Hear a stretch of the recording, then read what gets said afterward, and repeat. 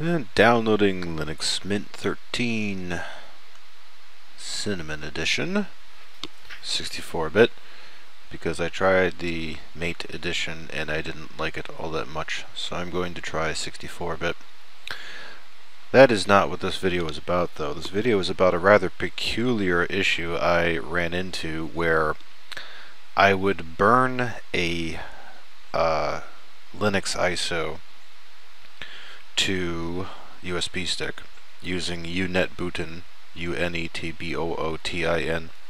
That's an app a bunch of you are familiar with for writing bootable images to USB, but the damn thing wouldn't boot.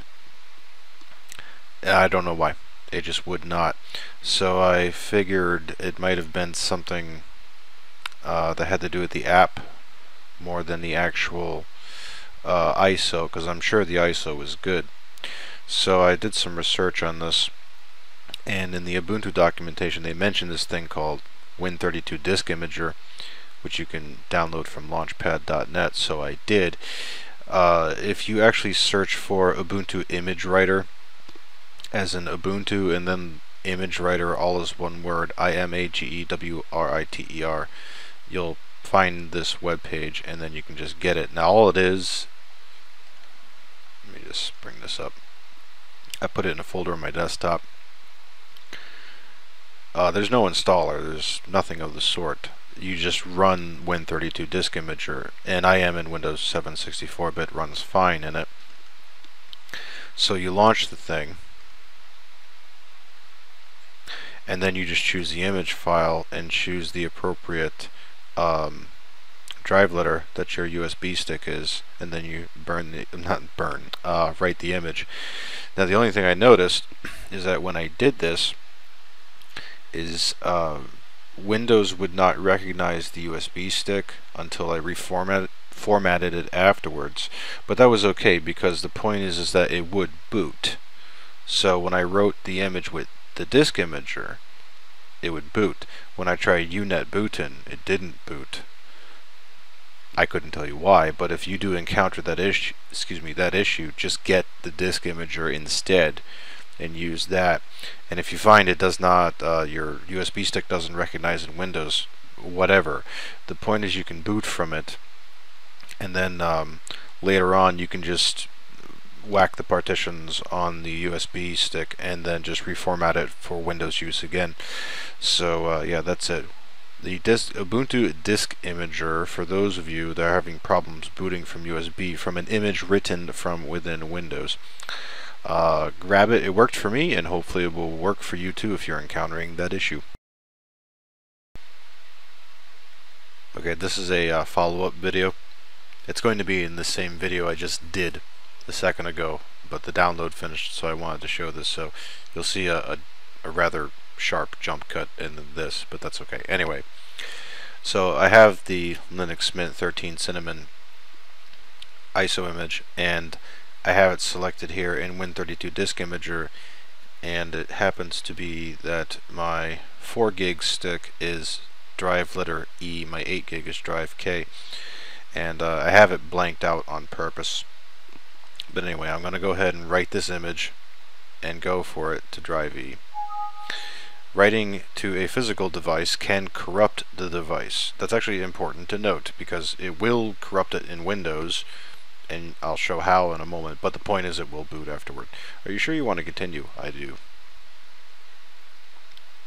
Okay, so now it is at the point where it's actually writing the data to the USB stick.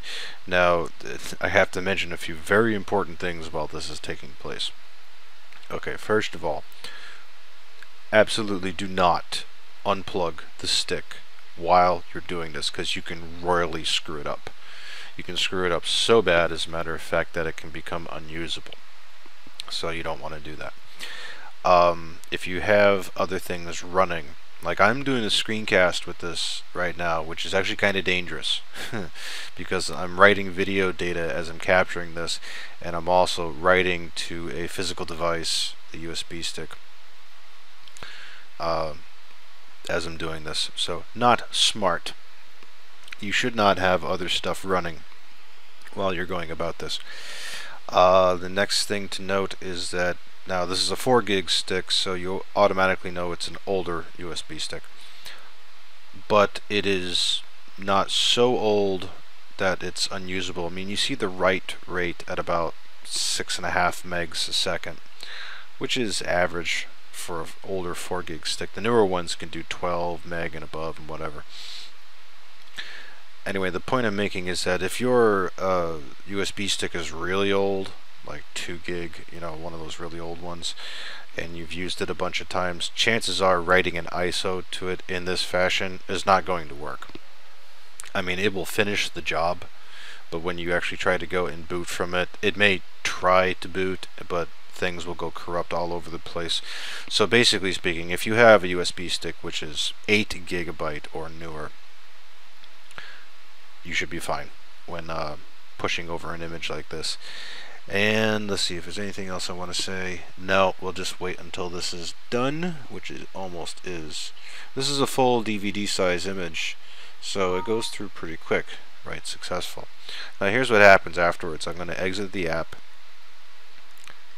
Going to go to computer. Now it does show it. I cannot access this. I'll try to open it up. It asks me if I want to format it. Nope, don't want to format it. But the point is, is that the uh, it says not accessible, blah blah blah. It is in fact accessible, and I can boot from it. This is what I meant before when I said when you're done with the stick, just go back into Windows and double click it and just format the thing and you can use it for Windows again. But for the time being, it is sort of kind of corrupt in the Windows environment. Partially because I changed the file format over from a, a removable USB to a HDD, pseudo HDD type of thing that would take way too long to explain, but that is essentially what happens, and that's why I can't access it in Windows right now, the contents, that is. So, but when I reboot, and I'm done using it, like I said, I can format it, and then I can use it in Windows again, so there you go, that's what happens.